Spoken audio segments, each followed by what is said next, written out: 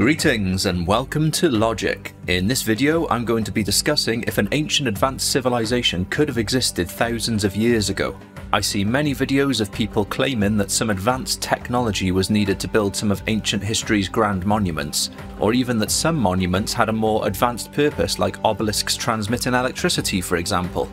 But no actual evidence has ever been found to support any of these theories, so by the end of the video, I hope the logic that I provide can show why there was most likely never any ancient advanced civilizations on Earth in the millions of years of fossil and archaeological evidence that we have. I hope you enjoy the video. Before comparing structures throughout time, I would like you to take some things into account which should be considered.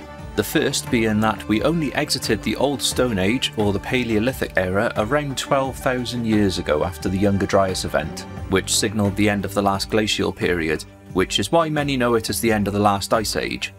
But from before then, we only found basic chipped stone, wood, and bone tools from us being hunter gatherers.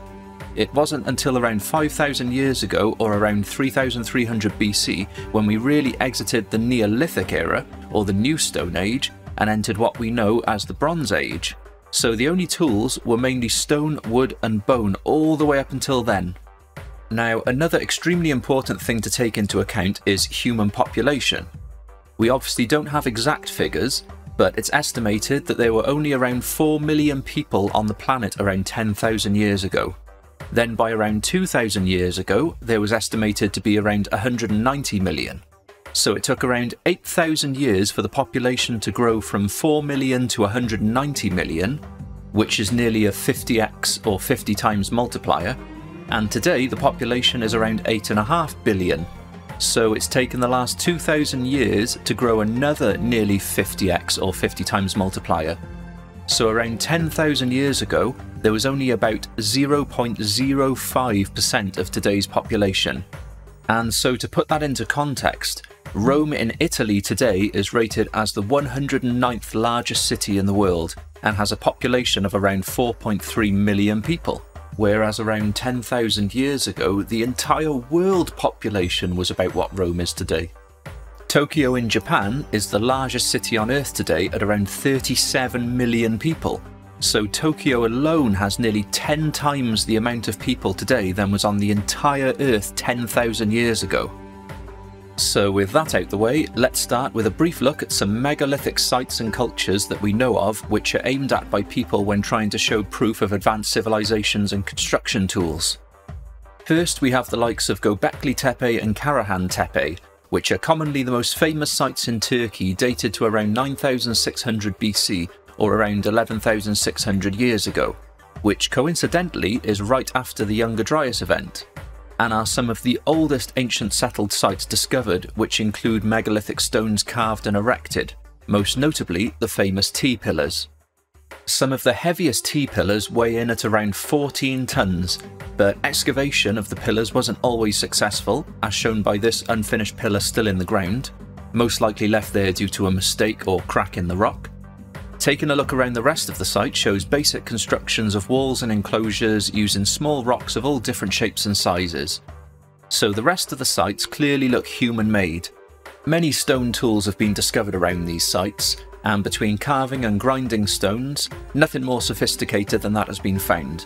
These sites even predate pottery as no pottery was found.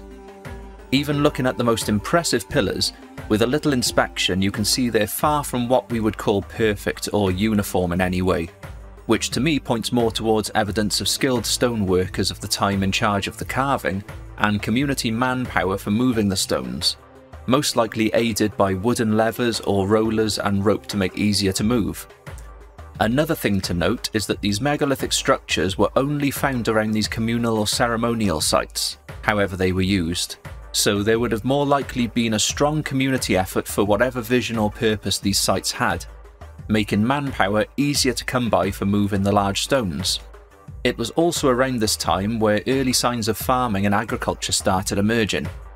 Fast forward five and a half thousand years later, the Sumerians appeared on the scene in Mesopotamia around 4000 BC, and the Sumerians have been credited with inventing many things which are still used today in more advanced forms, like writing, the wheel, government, schools, and many more practices.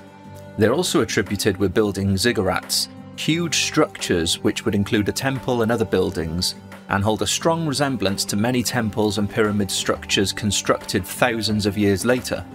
The ziggurat of Ur is the most intact and partly reconstructed, but shows far more advancement in construction from the thousands of years prior, and a move towards what we would think of as more uniform building standard. By this time, we were also far more competent at farming and agriculture, and just like computers and the digital age have freed our minds of small repetitive tasks allowing us to achieve more, I believe that farming and agriculture had a similar effect thousands of years ago. As before farming and agriculture were established, time would have been mostly spent foraging and hunting to survive. The population by this time would have likely been somewhere around 28 million people worldwide, which is around the same as the population of Shanghai in China today. The ancient Egyptian dynasties started around a thousand years after the Sumerians, and as we know, the Egyptians are credited with building the pyramids, and the pyramids of Giza are probably the most referenced ancient structures that people point towards as evidence of ancient advanced technology, especially the Great Pyramid. However, take into consideration that we had been working stone for thousands of years by that point, the population multiplying, societies and communities growing, more manpower, more minds for problem solving, more chance for skilled stoneworkers and engineers to practice their craft, and the only tools we find are what we would expect for that time period. We also have a pretty good idea that the causeways leading to the pyramids of Giza led from the water to allow stones to be floated close to the pyramids, probably using floats made of wood or inflated animal skins. Ancient Egypt overlapped with the Greek and Roman periods. Structures from the Roman Empire, for example, also include some massive multi-ton stones. And as that is the strongest material humans had been working with in constructing buildings for at least 10,000 years, it was most likely seen as worth the effort, as buildings made of stones are the ones that ancient people would have still had or used many generations after construction unlike wood structures, which would have mostly been lost with time or even the weather. Plus, using as large stones as they could manage would make it harder to deconstruct, steal, or damage over time, making it far more important to use large stones to construct important buildings they would want to stand for hundreds or thousands of years. Carvings and decorations in stone became far more intricate and detailed with more pristine finishes over time between the Egyptians, Greeks and Romans. We transitioned over to what we call the Iron Age at around 800 BC, and then it was a little over a thousand years after we started really working iron that some of the oldest cathedrals we know of started being constructed. Also in ancient India, it's still clear to see the amazing detail and character of many Hindu temples from around that time, a few hundred years AC. Now, over the last 1,000 years or so, the human population has been continuing to multiply even greater than ever before, as well as huge advancements in technology and education slowly stacking up. From the invention of things like gears to steam power to the telescope, the microscope, electric generation, with each new advancement came more ways of converting energy and viewing reality, leading to new ideas and inventions used for potential technological and scientific advances. And here we are today. With computers in our hands, able to communicate across the world almost instantly with anyone, and the largest and most advanced constructions ever conceived by our species, as well as the population multiplying by over 2,000 times in the last 10,000 years we've been advancing. Even though outlining the different cultures over the last 10,000 years shows how we have advanced gradually, where sometimes there was thousands of years before a new advancement, the most important point still against advanced ancient civilizations is the complete lack of any evidence. Any claim that ancients using power tools or heavy machinery or advanced metal tools of any kind needs to be backed up by evidence, and the structural stones are only evidence that we no longer know the exact method that they used to achieve these results. And the fact that there was no standardization or mass production techniques shows everything was manual and needed manpower and workman skill, and we found their tools, so why would we find basic copper tools and not more advanced tools made of even harder metals, etc.? The simple answer is that they never existed. Even burials in tombs locked away for thousands of years, which we still find with treasures and belongings intact, we find no advanced tools and treasures past what we could expect at the time of that culture. We also have so many archaeological finds from so many different areas of research that date back hundreds of thousands to millions of years, and we've never found anything to suggest a more advanced species between then and now, not anything alien or terrestrial. There's also something called the historian's fallacy, which is when someone judges the past based on our knowledge of today, which is a natural cognitive bias, mainly due to modern education and standardization of practices, which we are always learning and trying to make practices more efficient still today, let alone hundreds or thousands of years ago when the population and knowledge was a tiny fraction of what it is today.